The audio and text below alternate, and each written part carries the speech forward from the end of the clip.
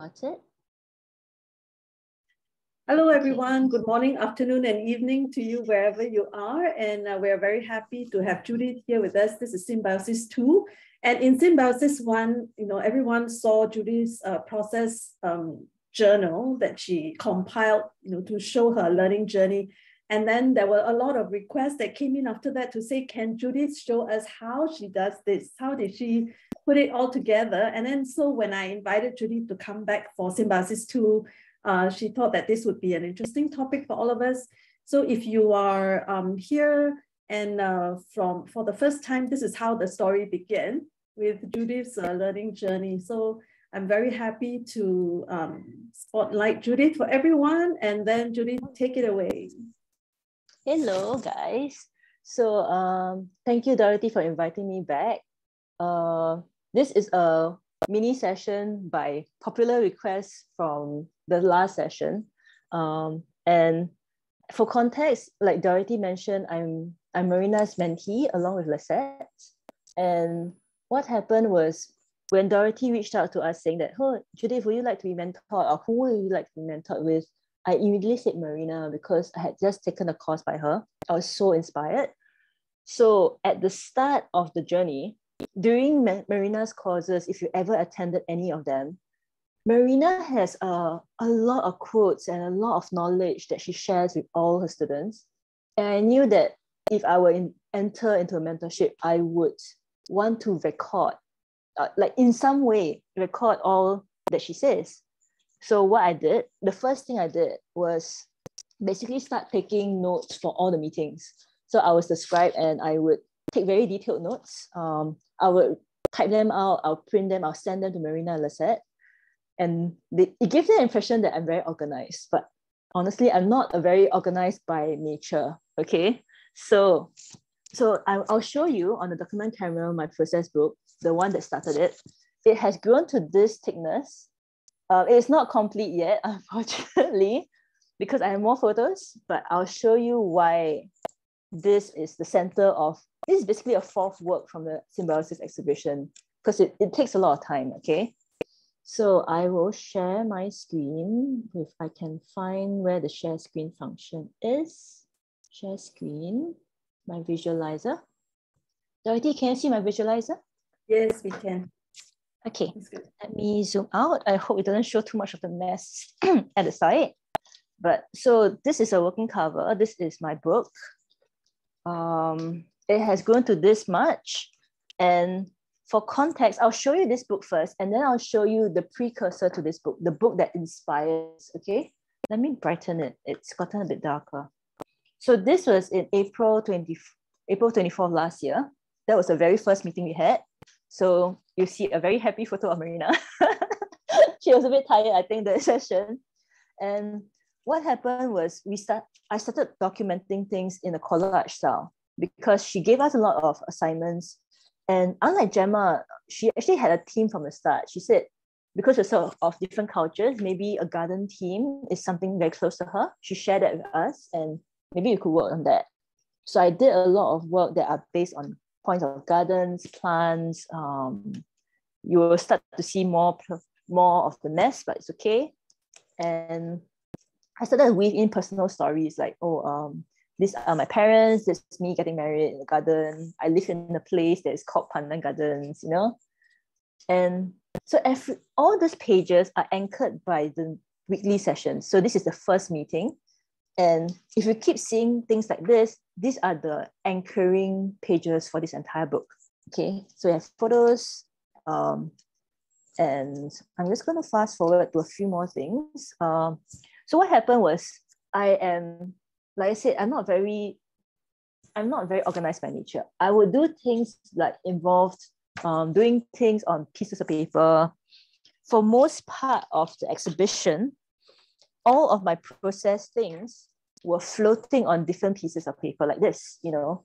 I'll do experiments, they're on different papers, they're all on different sizes. And I wanted a way to try to collate them because for the most of the exhibition, there were so many things happening. My life was happening, all this was happening. I was trying to put everything together. So I came up progressively with a system of allowing me to put in different pieces that tell a story. Okay, so this is like a set, a, a mock-up, an early mock-up. I started doing things where, sorry, the sun is like a bit distracting, but I started doing things where you could see the things behind because they were related to each other. And then I took different courses. This one is by Massimo Polello. He had a Spring Fest sharing. And um, so I did a lot of things, explorations, where, for example, something like this could be pulled out to show different works. So because I have scraps of paper, I have a lot of pieces where I cut uh, papers and I have a whole folder. I'm not sure if I can show you, but it's a whole folder worth of scrap pieces. So what I'll do is all of these, all of these uh, tags that you see are all scrap papers I've used. Um, so it was just a ready resource of things. I started doing drafts and with drafts, um, they're kind of flimsy. So I needed a little pocket to hold them. So that's one of the systems I developed. And this gave back so much because at the start of some of the sharings, I started doing things that are, I'm not sure you can find the specific page, but I started doing something like this, which I'll take all the meeting notes in shorthand, which is a scribble like you can see. And I started taking all these shorthand notes, converting them into print type notes, and I started weaving them together so these pieces throughout the book, I actually took a few to be my part of my final work in the Symbiosis exhibition. So fast forward a bit, this is the one that I think um, a lot of people were surprised by. I actually released the binding, but so that it's easier to flat lay. But um, I started doing ex- more experimental works and it became more and more of a thing. And what happened was this was the start of quite a few processes. Um, so this is an original that I did. And I think during Nina's sharing, she was saying that she was actually very afraid of experimenting. And I encountered that same problem too. Like, for example, I did this on nice paper and I, I didn't know how else I could edit this because I didn't want to spoil this piece, this original piece. So Marina, she had this brainwave. She said, today there's there are a lot of ways to free yourself up from the burden of being scared to edit your work.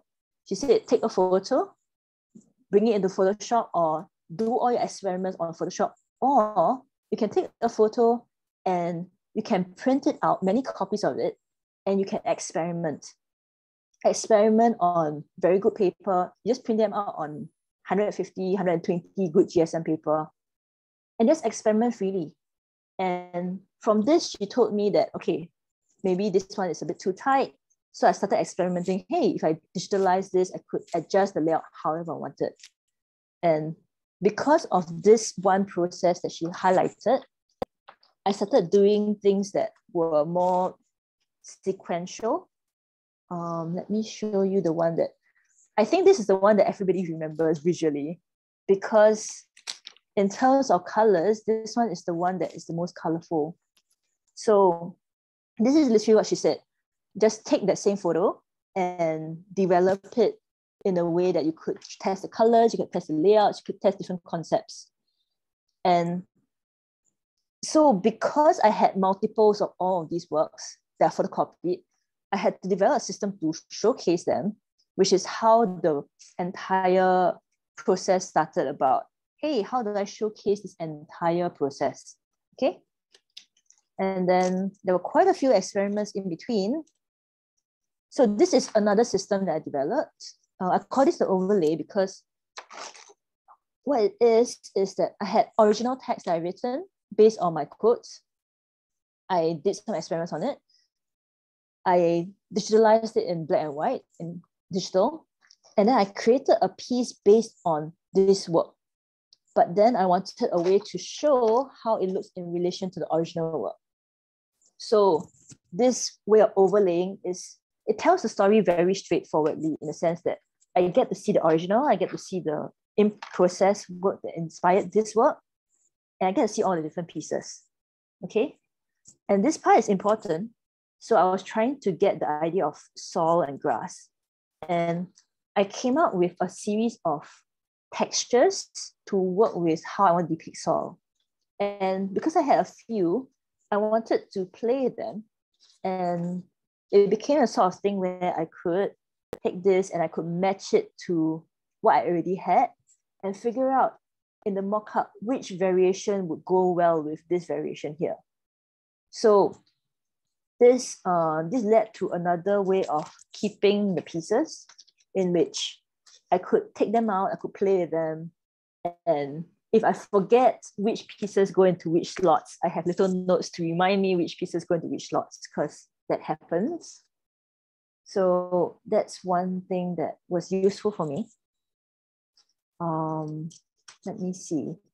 So these are the main few things. Like it allowed me to keep whole drafts. So this is a very, very thick, it's actually got width. So this is the thickest page in the book. Um, in order to make it sure it doesn't fall out, I actually have a band here, belly band here, so that it doesn't fall out. So with me, when I was doing, I had a lot of pieces lying around, piece of paper lying around. I also had a lot of photos. And with photos of the process, which I will show to Marina, I had to find some way to either lay out like this, or there was another way where um, this was where I was doing the spirals. It was getting more and more, let me see if I can brighten this. It was getting more and more structural and 3D, which meant that everything I put, everything I did had to be kept um, in a way that could keep it. Let me, come on. This one's not putting fitting in. I'll fit it in later. Yes. And so the way I present the works can be like literally pasting everything and cutting and pasting, which is like this. The other way I present photos, it's an insert in which it folds out like this. Because, for example, this set, it's a set of, I think, 20 plus photos. It's too many. It's too many to just um, paste and cut and paste. It takes too much time. So I laid it out in A4 and I cut it and I folded it so that I could fold out to see the progress all at one shot. Okay. So these are the different parts. Um, this is a rejected idea of a lamp that Marina said, too much, too complicated. Judith, go scale back, scale back. Through the entire journey, she was telling me, Judith, too much, too much, simplify, okay? So this is one of the, one of the ideas that I presented to Marina. Um, I think this is one of the very fun ones where I took a piece of text, I digitalized it, I picked out all the black, all the counter spaces, I numbered them like in the game. I started joining them together to make a face and things like that. I'll play around and I could keep them all here. So if you notice, right, by now, these are loose pieces. These are pieces I have not put back into the final one because when I work, I actually work with, I'll do maybe like a part of a page and I'll leave it blank because I know I have photos. I know I have things to add to it. So I'll have pieces that pages that are already done uh, pages that are not done. So for example, this is, this is actually cut by a machine. So all of these pieces I'll keep together in the correct week that I did the work. And I'll just have empty pages where I will fill up. So this process takes a long time, okay? In, in the middle of doing all the work, I can't always keep on track with filling out the process book.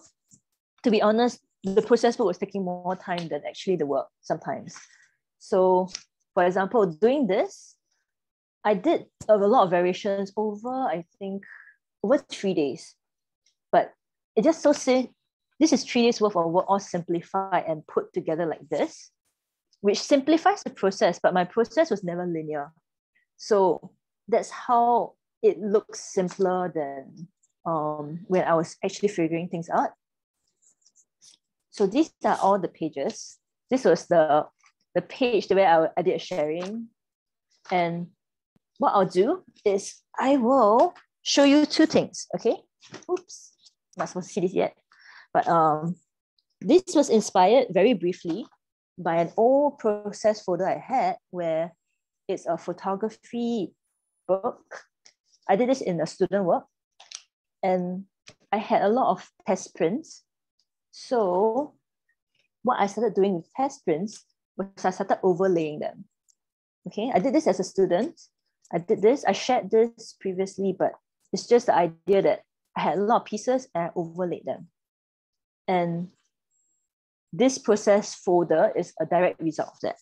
Okay, so I will go through a little bit about the stuff I prepared to show you how you can do this. And it's actually quite simple to me. Um, it's a more intuitive process than, than it seems. Okay. So I, I shared about a journey in the folder. Um, setting up a system, how I decided that I wanted an A4 was simply because I knew I was going to type out meeting notes. And meeting notes on A4, it's, it's easy to read. So I said, okay, I wanted a folder. I didn't want a notebook. So I found a folder which was an expandable file. This is, I found this my local store. There were a few considerations. Um, this is expandable, so I could always expand. This was also a plastic one. So in Singapore, metal always rusts and it will affect all my pages. So I wanted a plastic folder divider. I had an A4 paper that I could remove and add to at any time. It was gridded, so it allowed me for very easy composition. So I chose this before I started the journal. Okay, the tools that I use most frequently um, will be acid-free tape and glue tape because this saves a lot of time, um, a pen knife, and basically all of the materials that I have that I do, I work with. So for example, all of this, right? All your process works, they will inform how you organize because things like this, I will just very simply overlay. If it's things like this, where I'm showing different papers, then I might want to attach them together and put them in a folder. So I'm informed by the works I'm trying to I'm trying to show. Okay. So that is the system. Um, if you have any questions, just feel free to mess to unmute and ask me. If not, I'll just share a little bit more. So I've introduced a few ways of organizing. And this is the very first way, okay? The light is like that. You can see it better. So if you have multiples of anything, if you have multiples of, let's say, oops, I, lit, I made little mock-ups. The most obvious example would, let me see if I can find that one, the lotus. The lotus is a multi example of multiples. It's basically an accordion fold. So you paste them. In this case, they all had different pages. They were all the same size. And I pasted them on the back to make it an accordion. And I staggered them so that they would not be too chaotic. Okay, so when I open them, they would look fairly uniform. So for accordion folds, it's very simple. You take whatever content you have, you tape them on the back so that they link. The pieces can be either related to each other or they can be progressional. Like for example, like, oh, this leads to this, leads to this, leads to this. So, and behind it, I tend to write a description about what the thing is because there's a it has a very easy space for you to look at in relation to the work. So that's how I started thinking, okay, um, this way of folding and looking out is quite simple. And it was definitely inspired by the way Marina told us to photocopy our works. Okay, photocopy and then get over the, the fear of starting. So this is one of the pieces for multiples.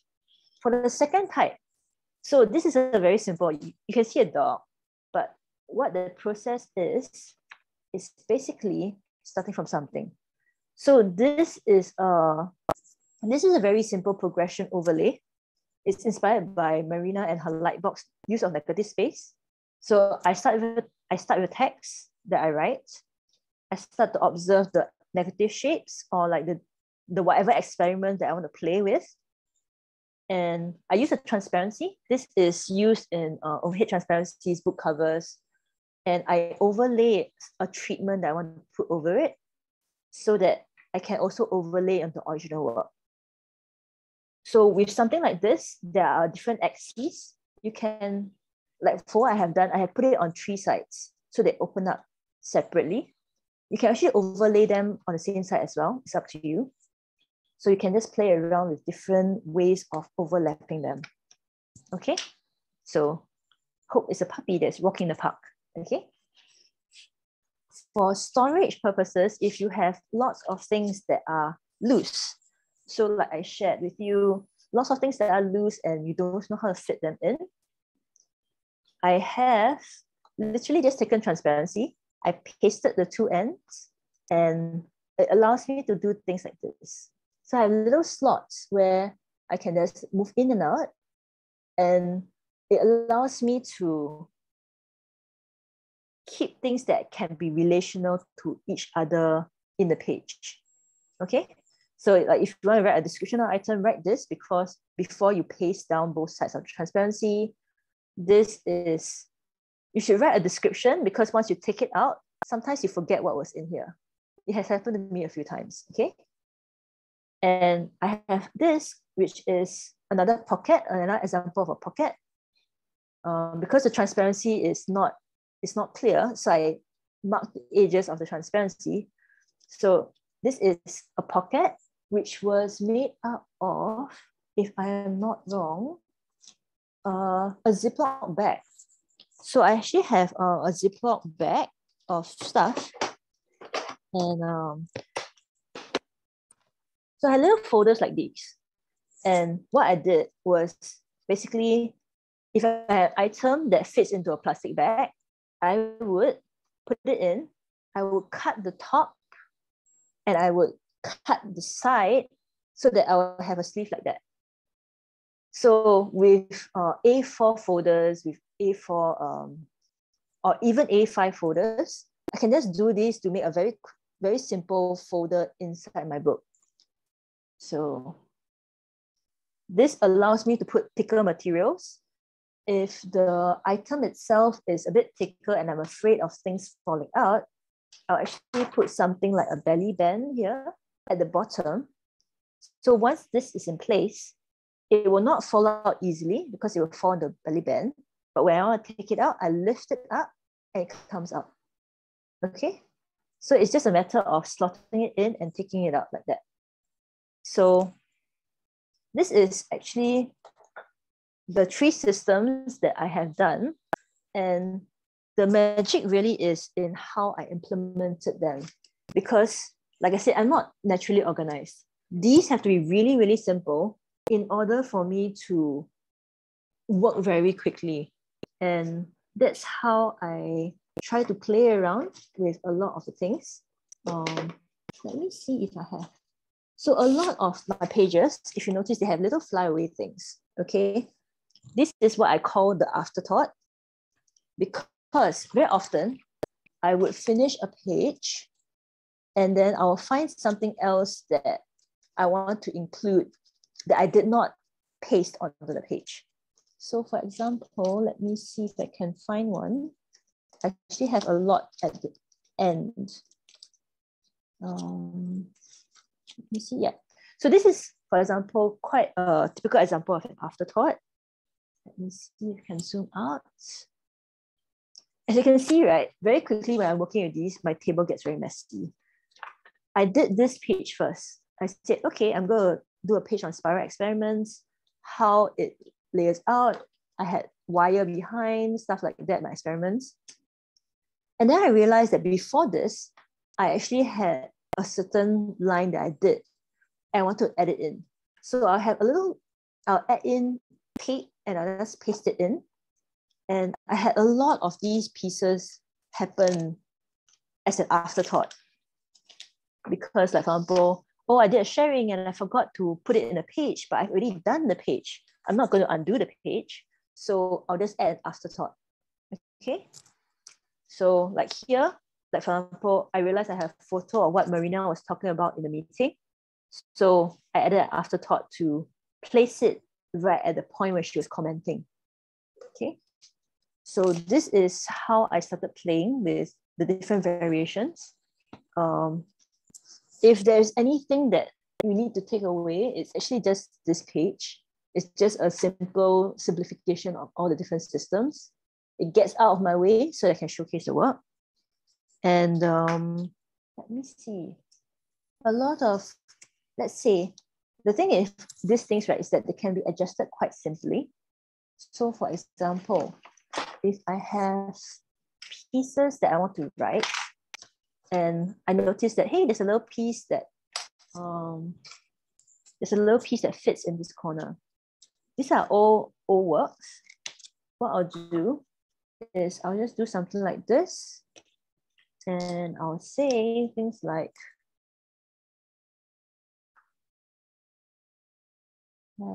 have.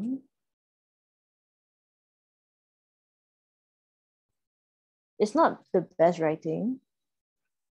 So one thing I took away from Marina, especially because I was working through a plateau, a bit like what Rachel was saying, was that we're all as calligraphers, we're very stuck with the perfectionist side. Everything I present must be beautiful. We all know Spencerian, we all know the scripts, we all know the rules. But working in this way of collage and just doing things very quickly gave me a freedom of expression in which, hey, you know, it's not so scary. I can just do things very simply. And I'll actually do things very fast. So in this case, I finished a page that could fit inside my journal, you know, just by doing a simple explanation of how I did all these pages. Um, for example, I have bigger pieces of work that don't fit in the journal. I, I chose A4 because I could fit a lot of the small pieces in, but for big pieces, I can't. So like for example, this piece is larger than A4. I had huge pieces I worked on that I couldn't fit in. And what I did was, so this is basically just a plastic folder that's quite big. I labeled the edge because I realized that it's quite hard to see on the visualizer. But what I'm going to do is I'm going to convert this into a folder that can access easily, okay? And this is just an example of how I can use folders and plastics to help me protect my work. So I'm sorry that this is turning out to be like a, a bit of a show and tell. It's, it's quite a lot of ideas to just show at once. So I just wanted to show first, and then if you have any questions, then let me know, okay? So this is just a folder. I'm going to cut off this edge first. Let's say something like this. If you ever want to cut anything, um, I personally, because I cut a lot of paper, I use a 30 degree blade by OLFA, but you can use any other type of cutter if you want. But just to save your fingers, because I have cut myself many times, when you cut anything from metal ruler, try not to use too much force, but I always do this trick where I put it on the side and I move my pen, my pen knife to the ruler. So I do this, it, it usually takes like less than one second, but doing this allows me to not cut myself because I have in my haste cut myself a few times. So if you just do this and then you do this, this part comes off, okay? And then what I do is I'll move this to this part. I always cut the fold, the pocket of folder a bit bigger than original work. So I have cut one side, I have another side cut. So it's basically a folder, okay? And what I want to do is I want to cut off the bottom part as well. So what I'm going to do is Again, when using a penknife, please use it carefully. Um, I'll flip it this way. So I always do it in a way that the penknife is moving away from me. I will do this.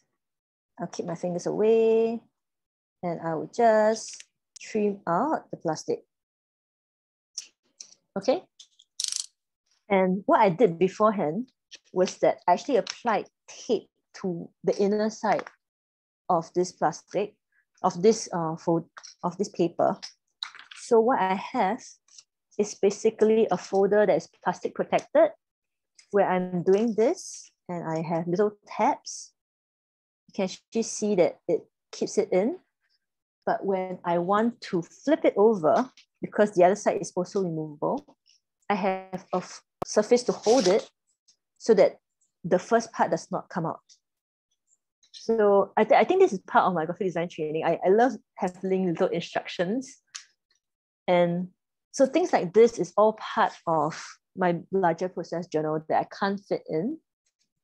I work a lot with plastic folders, a lot of um, stickers as well, and anything that I can get my hands on, I collage it into this folder. So that's actually the end of my sharing. it's actually quite fast because it's all about varying all these tools, right? When I was planning it, I said, actually, when I share, I only have about 15 minutes worth of content because it's so simple. Um, but it's just the way you consistently apply them that's the that's the most interesting part. Yeah. So um, if you have any questions, you can ask me. Otherwise, you can awkwardly stare at each other for the next few minutes. Or yeah. Judith, I think it's very simple to you because it's you, you know, this is coming from your brain. it, for me, it looks it looks like a lot of work. It's very complicated. But I think uh, a lot of us are chatting in the in the chat, and we are very happy that now we don't have to feel bad about hoarding scraps, scraps of paper, and like, oh, I like this paper, transparent thing. I like this plastic. So yeah, Actor says she's mind blown. oh, thank yeah. you. So I think it, for you, you know, it looks simple, but for us, oh my goodness. Yeah. oh, thank you. Yeah. I mean, the best that I could do when I wanted to record my progress is to find like a, like, let me show you. like, this is my folder, and I just put all my pieces inside, you know, with a sleeve. That's it. That's how, how, uh, how much of that, you know, journaling thing I can mm. do. So, does anyone yeah. have questions for Judy? Anything specific you want to ask her? How do you use the scraps though? Or are they just for the pleasure of hoarding? oh, I have a lot of scraps. So I have a lot of things like stickers. I have a lot of things that are pieces of papers that I've saved. So for example, these ones, right? Uh, every time I want to set out to do a page, let me share my screen again and I can show you how I do it. Um, wait, let me see if did I close the screen? Oh, I did. Okay, let me reopen my visualizer and then I will share my screen. Share screen. Hmm. How do I share my screen again? Can't seem to find the share screen option. Um, let me see. Whiteboard, share screen. Don't think I can't seem to share my screen again. Oh yes, oh. I found it, found it. Okay. Eh? No, it's not detecting. Okay. Let me see if I can open my visualizer again. Okay. And then I will try to share the screen. Aha, yeah. So yeah, all these scripts that I use, when I have a page, it always comes as a blank page, okay?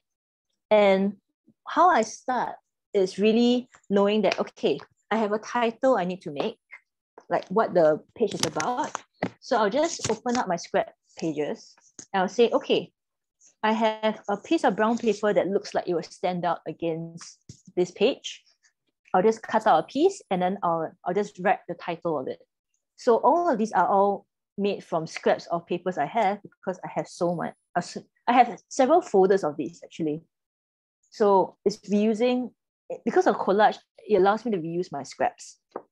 Um, for things like um, little strips, I find them very useful as dividers. So sometimes I keep them, sometimes I don't. For the other, so I have pages that are more like patterns. So I'll actually paste the patterns behind and then paste my formalized work or my experiments, let's say, I'll paste it in front so that there is contrast. So these are just elements that I lay up, a bit like scrapbooking, so that it allows for layering of textures. So when I look back at my process journal, it is, it is another piece of discovery. I'm always excited by what I find in my process journal because sometimes I forget what I pasted inside. Okay. Um, Singapore's weather is really not conducive for papers and bugs. Um, so it's a very good question because if you see, let me show you two things, right? Susan, I'll get back to your question later, okay? The first book that I did, Laid Flat. So this has been about 11 years since I made this book. Um, I've got a, I've got a very hardy cloth surface and it's, it's flat, okay? Because it's flat, nothing can really stay inside much. And I don't have a problem with bugs with this. The only thing I have with the weather is that the paper start to yellow and they get a bit damp. But for example, my new process book, which is the current one I'm working on, I mentioned that the pockets allow for thicker pieces, which means I have things like this, which are very thick, which means when you look from the top, there's actually space for bugs to come in. Okay, so it's, it's a very practical concern. I agree. There's dust can collect in all of these as well. Um, for what I do to keep the pests away, I have mothballs. I actually try to, as much as possible, keep my books in a cupboard that is covered. So if it's um, if it at least in Singapore, if you have a cupboard that is a, a shelf that is exposed, dust will definitely collect into all of these. You don't want that. It will eat in the paper. If it's a cupboard with a door, the dust doesn't get in, but sometimes bugs and um, humidity will set in. So I put dehumidifiers, um, like Thirsty Hippo, something to remove the water from the air. I put in mothballs to keep the bugs away. But the most, the easiest way to prevent all this from happening, hopefully, is really to take it out once in a while. Take it out once in a while, air the pages, keep looking through, and that prevents the pages from sticking to each other. Um, I use archival tape and page so that I don't have to worry about work like yellowing pages as much. And a lot of what I do, like Susan mentioned, right? This is more of uh, it's, it's very good for keeping process and rough works. And you can see that the vibe is completely not serious. And for formalized designs or bookmaking, I think I was watching Bakit sharing, and she was sharing about how um, Yukimi does very beautiful books. And Chana was like, I want to learn. And I saw that I said, I want to learn too. Because I know I know Japanese stab binding, but honestly, I don't have the patience sometimes to make sure all my experiments are on the same size of paper so that I can compile them into a proper book by the end. So that's why I went with a folder because it's so much more forgiving. Um, eventually, I do think any of these tips can fit into a piece that's meant to be properly bound. It's just an insert that you put in that can add interest to the way you showcase your process. All of this on its own, it's very adaptable. I could do that in the long run, but I have not done it yet. For now, it's just a process folder and I have used it as such. Okay. Um, for formalized designs, so for example, things that are like this, where it's more of a way of a system to protect a design that I have already worked on. Things like this can be very useful for more formalized works. Of course, you will not paste the, you will not put blue tape here. That's not the most ideal. But the whole idea of protecting it in plastic is so that when you want to show future clients your work, when you want to highlight, oh, there are different experiments I can play with. It is in a format that is that doesn't fall out because I have a version here and I'm holding everything every time I move because for the longest time I was keeping pages like this. They were all over my room, which is a mess. And pieces like this are very unwieldy because if you see, I actually bent this area, okay, which is not the most ideal. So in order to keep that, I have cardboard. I put plastic so that when I move the, when I'm moving the whole thing, I can hold so the bottom doesn't flip on me. And then um, if this, the whole idea of this spiral, right, is actually because there's supposed to be a jar lamp inside to talk about how from the top you can see one piece of work, but at the side you can see the reservoir of work that goes beneath the actual making of this. So I came up with this spiral, and that's how it all works out. Okay. So for example, um, the these are just ways of keeping your work safe and um, how you can eventually over time work out everything that you want to keep. This all this can be stacked up. Yeah. So I have variation of this spiral, which are I think 1.5 meter long. I wrote it very widely in a broad edge pen because I, I realized that if I did something that big with a pointed pen, it would take me forever to fill the page. So I use a broad, broad edge. I told Dorothy, Dorothy, I need a really, really, really broad edge. And then she helped me make one out of like brush shims. So that's how I work.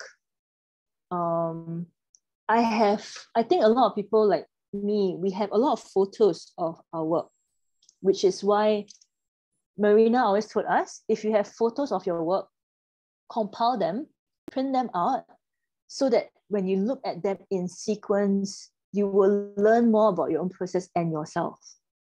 So that's the reason why I started putting everything, I started printing everything. I feel like a tree killer every time I look at my process book, which I am. But as much as possible, I re- recycle the scraps that I've made from other projects. Yeah. So yeah, I mean everything in the pocket sleeves. Pocket sleeves are amazing. Um, it's just that I I have this habit of cutting the edges so that I can access the contents a lot easier. And um, yeah, that's me. Um, everything's a real mess. If you happen to notice, there was a knock on the door just now. My aunt came in. She said, "You have a delivery." She put it there. She looked at the state of the room. She shook her head and she walked out. So so so that's the reality. My my workspace is very messy.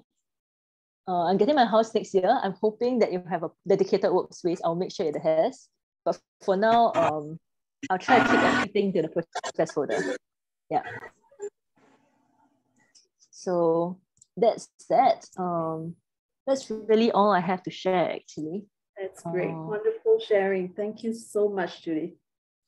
Thank you yeah oh. and that's it and uh yeah I, I was sharing a few people that I was doing some new projects now after after symbiosis. I was playing with like uh, different coasters. I was playing with like different ways I could play with um my writing. So this is a Chinese thing. I could play with this. So I try to work with different materials after after symbiosis um, I started teaching at an art school, local art school. So I think just having the symbiosis was a good enough artist break to develop myself. And then I could get over a little bit of a plateau because I was so I was so stuck in this writing calligraphy. Yeah. And thanks, Natalie, you know, like keeping keeping track of process. I would share, I can share this um, so for the notes that I take, uh, I have a lot of notes that I've taken from previous classes. Um, so for example, Spencerian classes, I have at least um, taken four or five classes with different teachers. Michael Sull's class, I've already taken quite a few. So like for example, I'll actually have the notes here in these folders and I'll keep the notes underneath. So this whole set of notes comes together. Okay, this is the notes from his class and including my terrible examples of what I did in class. So this is how I share, this is how I keep my workshop notes. But I also have one other way because I was losing pages using this method. Um, I, I realized that I'll take one page to, to reference and then not put it back again in the same place. So what I tried to do was that for my own notes, I have a lot of folders. So these are the notes that I did for my class in LaSalle. And oh yes, I forgot to mention this. So when you set up your folder, right, um, you must put it the other way around than the way it's usually made. Because, okay, when you have a folder, the most typical way of filing is like this. Okay, your folder, it opens out like that, and you slot in the pages, right? Every time you add a page, is on top of the first piece, which is not ideal when you're trying to build a chronological order. So in order to make sure that my latest, my latest page is the later part of the chronology, I actually flipped it over such that when I put in the first piece, it is at the bottom of the folder. Okay, so when it's at the bottom of the folder, any page that you add to, that you open up this, this and you add to, will be behind the very first piece you add. Okay, so this is uh, a very important step in this like process journaling. I had to figure it out because when I do something like this, I keep all my notes together in this way. The pages don't go missing. And I have this set of plastic binders, which are very useful for just putting together any set of notes. Although it, it does cut a little bit in the text, but otherwise that's how I, I work. And then all this goes into color coordinated folder, folders. This is as organized as I can be because the rest of my process is not organized. Okay, this is a disclaimer. If I even just the normal state of my table is like this layers of stuff. Okay. A ring binder is great or just, but a lot of ring binders, if they have metal in Singapore and in humid countries, it will not work because it will rust. I've had so many folders rust on me and it is quite painful. Um, so I always use plastic parts. If I have, let's say the pages, right? Um, let me show you the pages again. I have a folder and I have like, these are the holes that I'm to punch things into. I actually use something called, what's this called? A reinforcement ring. A reinforcement ring is basically just this like little plastic thing that you see here. And you just place it down here because I will add a disclaimer, okay? This is a good thing to protect your pages from tearing so that they won't fall out of the folder. Okay. And um, if anyone wants to shop, I have, you just go to all the stationery shops. I, I found this in popular in my local stationery store, but um, it's, it's not an excuse to shop, okay? I'm saying that you should try to reuse what you already have um, and not shop more. because this is what Marina always tells us, we should use the materials that we already have and not try to use more of the earth's resources. But yes.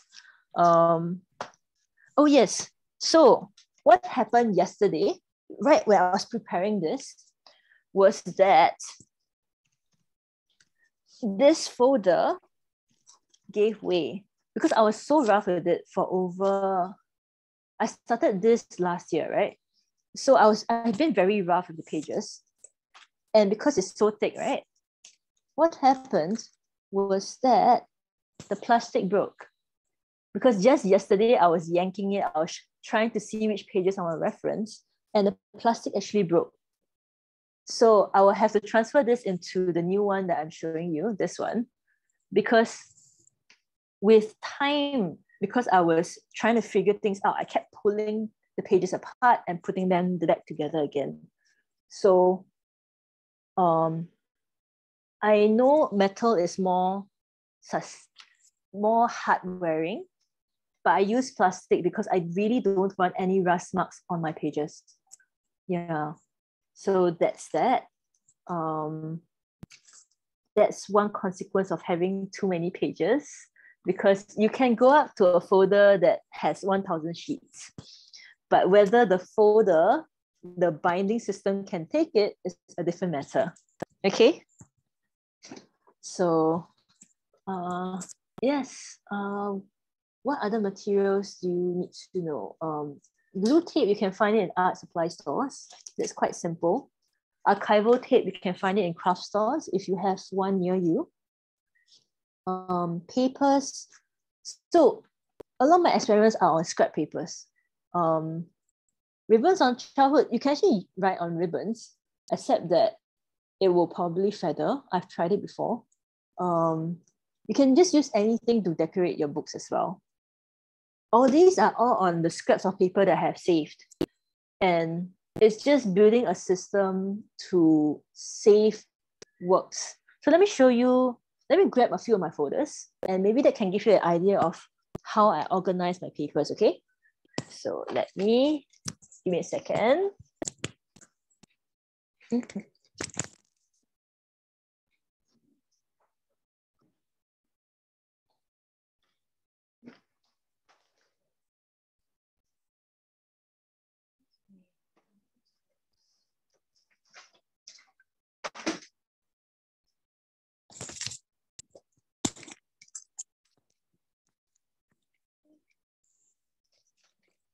Okay, so like you can see, I have several folders here. Um, oh, the, the binding threads with metal ends, right? I actually use them quite a bit. I used them before, but the metal bits will rust. And in Singapore's weather, anything that is metal will rust. Even my watercolor paints will grow mold on them, even if I dry them out. So somehow things always happen in humid weather. So that's why I actually avoid the cloth things as well. Even though I love the majority of the cloth, the metal bits will rust. Yeah. And then, okay, so I have folders of all my scraps. I have one that says, I have, let me see if I can show you here. This one says dark papers, which literally is scraps of dark paper. So they are of different sizes. Um, there's gray in here, which um, is darker than cream, but in general, it should be more or less the same type of um, papers inside. Okay. For my colors, this is just literally colored papers. So when I do a project, I test things out. I have scraps. I just save them in here. So it's all different pages, all different types of papers. And this will all come in very handy when I'm scrap, when collaging, scrapbooking all the works. Um, I have a folder where this is called completed works. Okay. But it's, it's not really completed works, just a scrap menagerie of like all the works that I played with. Um, like, let's say the coaster, this was inspired by this work I did many years ago. Um, so because I keep them loose, I get to reference them quite a bit. And I'm inspired by old things that I've done quite easily. So things like that, um, writings, old pieces. So sometimes um, it's it can get overwhelming because I do so many pieces on different types of paper. Uh, my final pieces usually are gifts.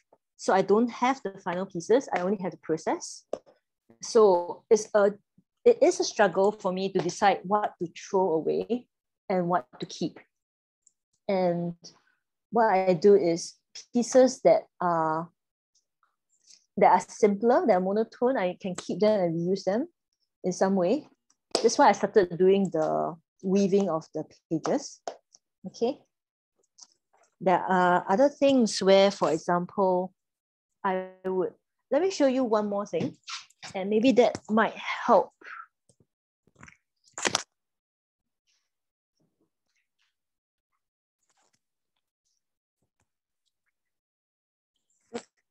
Think because I, I'm an art student, I keep so many materials, right? Um, people like, I, I'm actually staying with my aunt right now. And I think she's always a bit wary of why does she keep so many things. These are Nespresso um, capsule containers, literally Nespresso. And they have all these very, very fascinating patterns. And what I did was I kept all of these, the patterns, so that I can play with them in scrapbooking. So I actually don't buy, I don't buy many stickers. I bought a lot last time, but then I actually stopped. I just reuse patterns that I have from leftover from packaging, from bags, from what I order. And I, some of these I can actually make um, cards with them. So all you need to do is literally you just punch a hole, write something nice, or you take a piece of paper, you write something nice on it, you overlay and paste it on, and you punch a hole and it becomes a tag, you know? It becomes a gift that you give to somebody. Um, it doesn't need to be very expensive to be heartfelt, I think. Um, I had a student come up to me two, three days ago and tell me, Judith, um, my, my writing's not perfect enough. Uh, I feel like I'm not I'm not getting the shape that you are making on paper.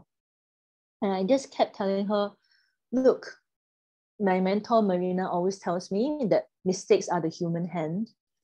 And that is something I've kept very close to my heart. And I always tell my students as well, we are the product of everyone we learn from, and it's a journey. And with this book, it is my journey. And I can play in this journey I can be my authentic self and just draw and have fun in this journey. And that's what I want to hold on to. I don't want to hold on to the perfect examples of all my writing because honestly, I don't hold on to them. I give them away. Yeah. So so that's that. Um, thank you for attending my TED talk. Sorry that it has been so long. I just kept talking. But yes, if you have any other questions, just let me know and I'll very happily take any questions. Thank you, Judy. That was great sharing. Sometimes it's you know it's just um yeah interesting to to see what other artists are doing to capture their ideas, their process. And uh. I have I have um I have um, read or seen you know so many artists saying that the process of creating is very important and um, and and and that every artist develops their own process you know so i think that what you have created is a is a system where you use to capture your your creative process and uh, it's it's just very interesting to see mm, yeah. yeah it took me many years to meander back to this way of thinking mm, but yeah. i would say this process journal this process folder i would say is actually really time consuming yeah because in addition to doing all the works that you have you're also consciously planning layouts for this process folder yeah. so if you're a bit more disciplined and you can do it as you go along it's not so scary if you're like me and you accumulate a few weeks worth of work and then you print out all the photos all at once and then you first stuff everything inside yeah, Natalie says she wants to do one to document this mentoring process. And, and really that was why um, this is one of the things that we encourage all the mentees to do because we want to demonstrate the learning and the growth.